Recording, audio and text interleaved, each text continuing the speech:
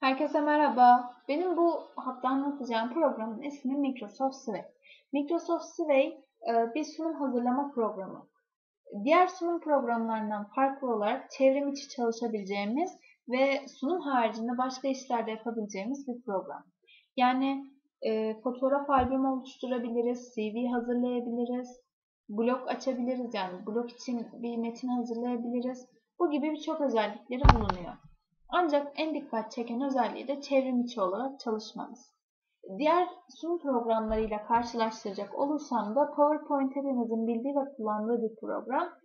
E, temelinde aslında sunum hazırlama kısmı onunla benziyor, benzerlikler gösteriyor. Ancak PowerPoint'ten daha gelişmiş, daha çok özelliği bulunuyor ve çevrim içi. Sway, Microsoft Office'in etkileşimli raporlar, kişisel öyküler, sunular ve daha birçok şey oluşturmayı ve paylaşmayı kolaylaştıran yeni bir uygulamasıdır. PowerPoint tarzı bir uygulama olarak görülebilir. Sway kullanmak için bir Microsoft hesabına sahip olunması yeterlidir. Kullanmak için herhangi bir ücret talep edilmiyor. Sunumları sosyal medyada ya da web sitelerinde yayınlayabilirsiniz. Birçok hazır şablon ile sunumlar tasarlamanıza yardımcı olur. Bu şablonlar iş sunumları, portföyler, özgeçmişler ve bültenler gibi şeyleri içerir. Sunumunuza ne koyacağınız konusunda takılıp kalıyorsanız Sway uygulamasında hazır birçok taslak bulunmaktadır. Sunum yapmaktan ziyade hikaye anlatımı üzerinde de belli bir vurgusu var aslında. Sway soldan sağa veya aşağıya doğru bir akan anlatı yapısı için tasarlanmıştır. Sway uygulamasında yapılan sunular yayınlanabilir ve paylaşılabilir. Online bir uygulamadır ama bu sadece bir bulut uygulaması olduğundan indirilecek dosya yoktur. Yani hazırladığımız sunu veya dosyaları indiremiyoruz. Sadece e, paylaşabiliyoruz ve açtığımız oturumda kayıtlı kalıyor. Sway ile ne oluşturabilirim? Rapor, sunu, bülten, kişisel öykü, fotoğraf albümü veya görsel gezi raporu oluşturulabilir.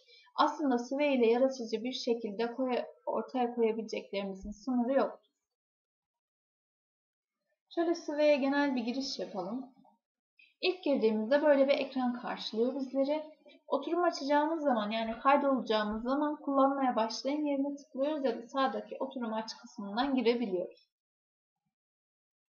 Şu şekilde bir ekran geliyor. Eğer Microsoft hesabımız var ise e-posta adresimiz ve parolamızla Sway'e giriş yapabiliriz. Eğer hesabımızda yoksa altta yer alan hesabınız yok mu yeni bir hesap oluşturun kısmına tıklayıp kendimize bir Microsoft hesabı oluşturuyoruz. Bu şekilde e-postamızı da oluşturduktan sonra parolamızı yazıp Sway'e giriş yapıyoruz. İlk girdiğimizde böyle bir ekran karşılıyor bizlere. Şimdi uygulamalı olarak göstereyim. Ee, ana ekranı bu şekilde ana sayfası.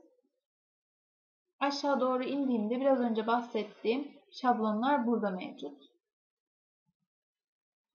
Yani tatil öyküsü, duyurular, kendin yap projesi, bülten, blog, sunu. Bunlar hazır olarak yer alıyor ve biz sadece metin kutucuklarının içini istediğimiz bilgilerle dolduruyoruz. Mesela e, CV örneğine bakalım. Hazır şablon olarak geliyor zaten önümüze. Bu Sway tuvalini düzenlemeye başlayana tıklıyoruz. Ve buradan hazır bir şekilde bize CV e, şablonu geliyor. Biz sadece bilgilerimizi ve istediğimiz şeyleri ekleyip istediğimiz yere atabiliyoruz, paylaşabiliyoruz. Nasıl paylaşıyoruz? Sağ köşede paylaş kısmında hemen e, buradan bize bir link oluşturuyor. İstersek bu linki kopyalayıp paylaşabiliyoruz. İstersek alt kısımlarda alan paylaş seçeneklerinden yani görselden bağlantıyı al gibi yerlerden paylaşım yapabiliyoruz.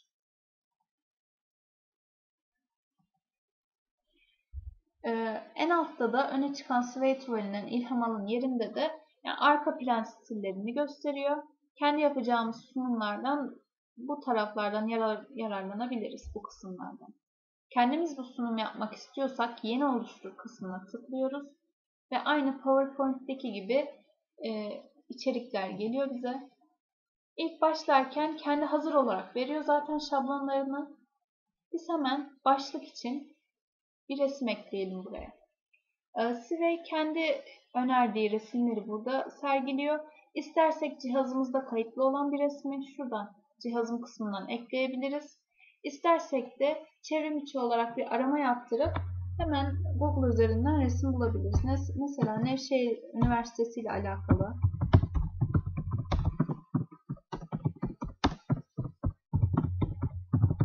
bir resim arattıralım. Bakın hemen çıktı. İstediğimiz resmin üzerine tıklayıp ekle butonuna basıyoruz ve buraya ekliyor resmimizi. Eğer buradan yapmak istemezsek önerilen kısmından yine OneDrive ya da YouTube cihazım gibi kanallardan ekleme yapabiliriz. Ee, bunu da ekledikten sonra odak noktaları kısmı var. Bu odak noktalarından da resmimizin istediğimiz yerini kırpabiliriz yani ayarlayabiliriz. Bu şekilde Sway zaten bize düzenleme örneklerini gösteriyor. Ben resmin tamamı önemlidir diyorum ve resmin hepsini ekliyorum. Daha sonra buraya başlığımızı atalım.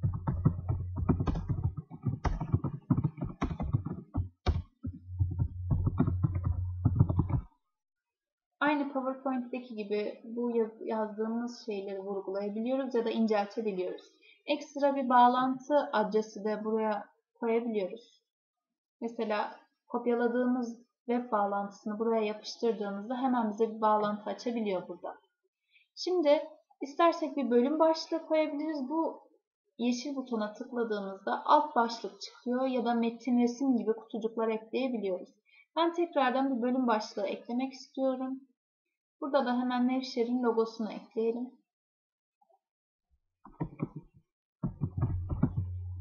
Tekrardan böyle bir alt başlık oluşturduktan sonra yine yeşil butona tıklıyoruz ve bu sefer metin ekleyebiliyoruz. Buraya istersek kopyala yapıştır yapabiliriz ya da kendimiz yazabiliriz. Yine e, bunun üzerinde tekrardan o metnin içine bölüm başlığı eklemek istersek buraya tıklarız ya da yazdığımız cümleyi vurgulamak istersek, inceltmek istersek buralarda mevcut. Madde işareti numaralarda aynı PowerPoint'teki gibi. Bu da Yine bir bağlantı adresi. Bağlantı koymak istiyorsak buraya tıklayıp yapıştırabiliyoruz. Daha sonra bunlarla işimiz bittikten sonra e, tasarımını şu sol köşedeki tasarım kısmından ayarlıyoruz. Bize böyle bir e, ön izleme gönderiyor. Sağda stiller var. Stillerden işte dikey mi yatay mı olacağına karar veriyoruz slaytımızın ve yazı şeklimizi buradan ayarlıyoruz. Daha sonra da bir bakış yapmak için yani slaytımızı oynatmak için sağ tarafta oynat butonu var. Oraya tıkladığımızda bu şekilde bakabiliyoruz slaytımıza. Eğer hoşumuza gitmeyen bir yer varsa düzenleye tıklıyoruz. Veya bizim için tamamsa paylaş kısmından yine bir link yani bir adres oluşturuyor ve biz bunu buradan kopyalayıp istediğimiz yere yapıştırıp gönderebiliyoruz. Şimdi buradan çıkalım.